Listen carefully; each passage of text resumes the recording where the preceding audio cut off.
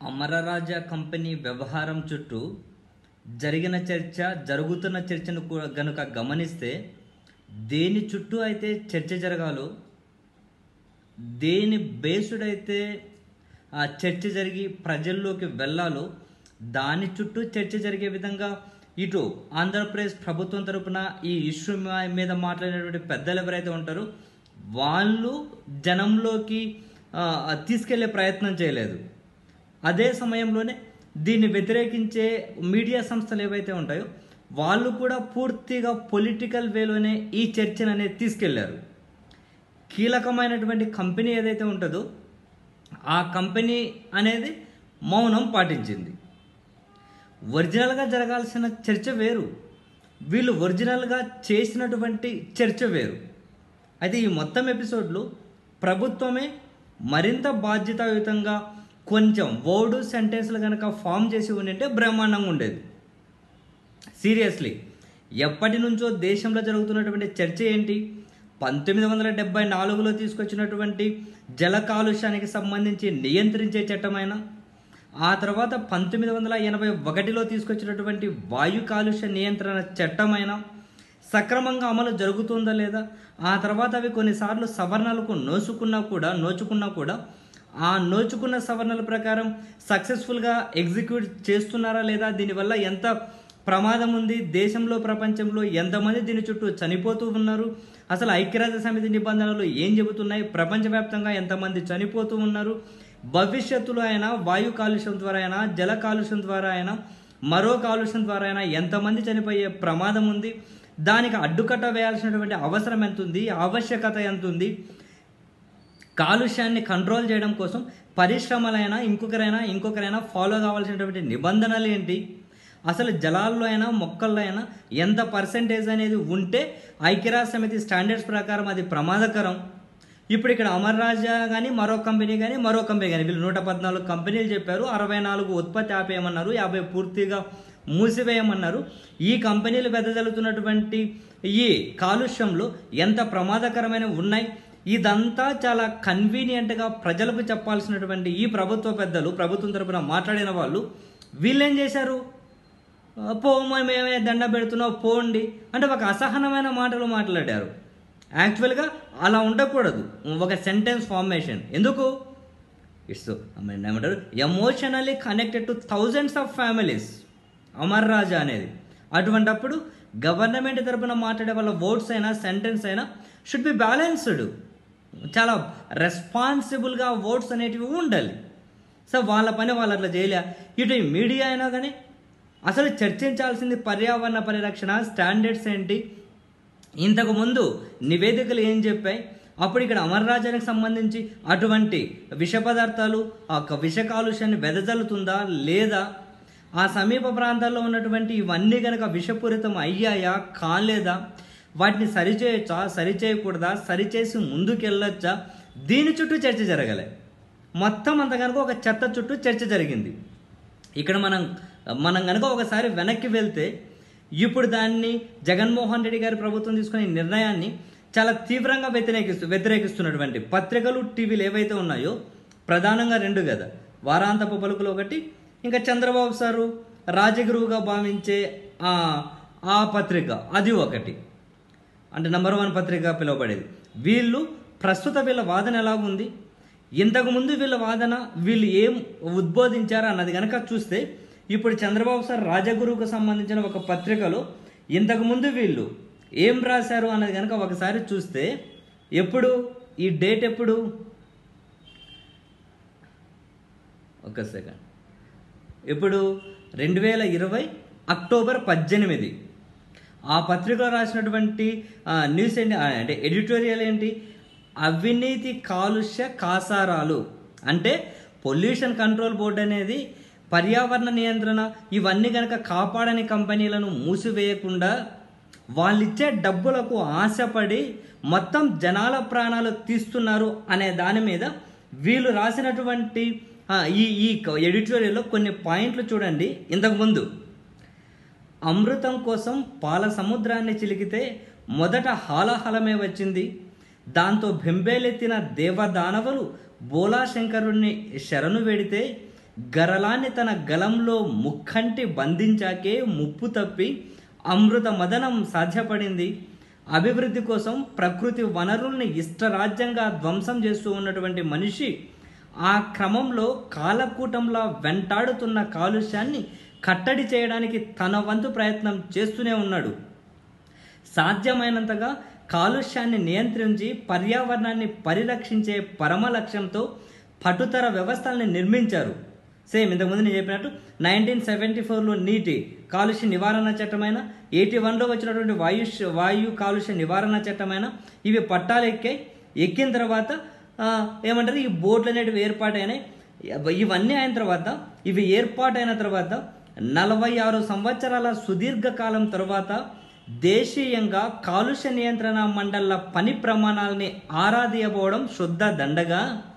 అవినీతి కాలుష్య మండల చేతివాటం సదరుకు తమిళనాడుకు చెందిన పన్నీర్ సెల్వం సంపాదించిన కళ్ళు చెదిరే ఆస్తులు అద్దం పడుతుంటే వాటి భ్రష్టత్వం దేశీయంగా ఏటికేడు ప్రాణాంతకంగా పెరుగుతున్న రోగాలు రొస్టుల్లో కోసుకుపోతున్న ఆయుర్దాయాల్లో ప్రస్ఫుటం అవుతూనే ఉంది.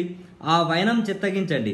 అంటే కాలుష్య నియంత్రణ బోర్డులు ఏవైతే ఉంటాయో అవి కంపెనీలతో కుమ్మక్కై జనాన్ని చంపేస్తూ ఉన్నాయి.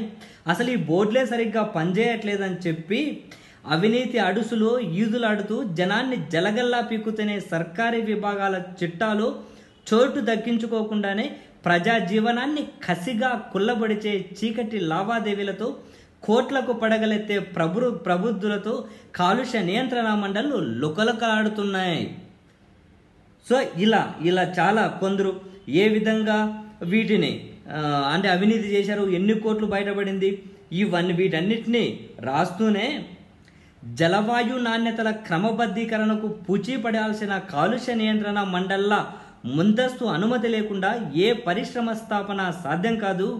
పరిశ్రమల స్థాపక ప్రదేశాన్ని అనుమతించడంతో పాటు వ్యర్థాల శుద్ధి తదితరాలని జనశ్రేయమే లక్ష్యంగా పరిశీలించడం వాటి ప్రాథమిక విధి దేశంలో అత్యంత కాలుష్యకారక పరిశ్రమలు రెండు వేల ఆరు వందల డెబ్బై రెండు ఉన్నాయని పదహైదు వందల యాభైకి పైగా కాలుష్య నియంత్రణ నిబంధనల్ని పట్టించుకోకుండా పనిచేస్తున్నాయని రెండు వేల ఆరులోనే కేంద్ర కాలుష్య నియంత్రణ బోర్డు అనేది ప్రకటించింది.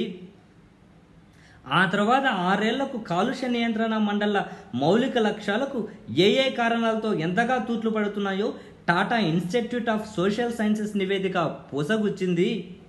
కాలుష్య నియంత్రణ మండలపై రాజకీయాల ఆజమాయిషి వాటిలో పనిచేసే వారికి సంబంధిత పరిజ్ఞానం నైపుణ్యాల లేమి పెరుగుతున్న బాధ్యతలకు అనుగుణంగా సిబ్బంది సంఖ్య ఇనుమడించకపోవడం ఇలాంటివెన్నో ఆ నివేదికలో పోగుబడ్డాయి. ఇలా రాజుకుంటూ పోయి కాలుష్య నియంత్రణలో ప్రజా ఆరోగ్యానికి ప్రాధాన్యమిస్తామని కేంద్రాలు రాష్ట్రాలు వాగ్దానం చేస్తూ ఉన్నాయి కానీ కాలుష్య నియంత్రణ పక్కన పెట్టి కంపెనీల నుంచి ఎలా దోచుకుంటాయి? చీకట్లో అని చెప్పి రాస్తూనే రాస్తూనే ప్రపంచవ్యాప్తంగా ముప్పై అత్యంత వాయు కాలుష్య భరిత నగరాల్లో ఇరవై ఒకటి ఇండియాలోనే ఉన్నాయి. నీటి నాణ్యతా ప్రమాణాన్ని పరిశీలిస్తే గణతంత్ర రాజ్యం ఆవిర్భవించిన ఏడు దశాబ్దాల తరువాత సురక్షిత తాగునీరు లేక ఏటా లక్షల మంది పిల్లలు కన్ను మూస్తున్న దైన్యం గుండెల్ని మెలు వెలిపెడుతుంది ఈ దారుణాలకు ఎవరు జవాబుదారి? పీల్చే గాలి తాగే నీరు విషతుల్యమైపోతే మనుషులు బ్రతికేదెట్లా? శిలాజ ఇంధనాల వల్ల వాయు కాలుష్యం ముమ్మరించి ఇండియా ఏటా పదహైదు వేల కోట్ల డాలర్ల ఆర్థిక నష్టాలని భరించాల్సి వస్తుంది. నెలలు నిండని తొమ్మిది పాయింట్ ఎనిమిది లక్షల ప్రసవాలకు పన్నెండు పాయింట్ ఎనిమిది జీరో లక్షల మంది పిల్లల్లో అస్తమా ప్రబలడానికి ఇది కారణమవుతుంది అని గ్రీన్ పీస్ సంస్థ మొన్న ఫిబ్రవరిలోనే వెల్లడించింది. అది చాలదన్నట్లు ఇంకా భోపాల్ విశ్వవాయువు ఇటువంటివన్నీ కనుక రాసుకుంటూనే పౌరులకు రాజ్యాంగం ప్రసాదించిన జీవన హక్కులు మంచినీరు స్వచ్ఛమైన గాలి అవిభాజ్య భాగం వాటికే ఎసరు పెట్టేలా అవినీతి కాలుష్యం ప్రబలడాన్ని ఎలా సహించగలం?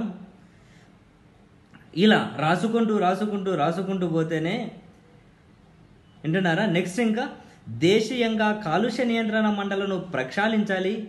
ఆయా పరగణాల్లో వాయు నాణ్య నీటి నాణ్యత ప్రమాణాలను ఎప్పటికప్పుడు పరిశీలించుకుంటూ అవి వెదజల్లుతున్న కంపెనీలను జవాబుదారీ చెయ్యాలి.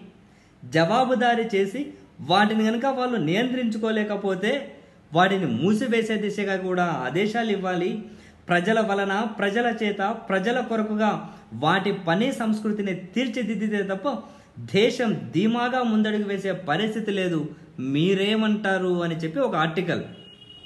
అంటే నీటి కాలుష్యం వాయు కాలుష్యం ఏ విధంగా పోతుంది ఎన్ని ప్రాణాలు పోతున్నాయి భవిష్యత్తులో ఎలా? ఇవన్నీ వీళ్ళు రాసినవే. సో ఈ- వీళ్ళొగరే రాయలే. వారాంతపు పలుకులు కూడా బ్రహ్మాండంగానే రాశారు. వారాంతపు పలుకులు కూడా చాలా రాశారు ఇట్లాంటివి.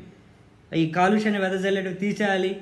పెట్టుబడిదార వ్యవస్థల కోసం ఇవన్నీ నాశనం చేస్తారా? ఏంటి అని వీలు చూడండి. వారాంతపు పలుకులు ఎప్పుడు రాశారు? మార్చి ఇరవై రెండు రెండు వేల ఇరవై జీవకోటికి నీరే ప్రాణాధారం అని చెప్పి హెడ్డింగ్తో పెట్టి రాసి ఇందులో బాబోయ్ ఎన్ని రాశారు? చాలా చాలా చాలా రాశారు. వీటి అవసరం ఏంటి? నీటి రక్షణే మానవ రక్షణగా భావించాల్సిన అవసరం ఉంది.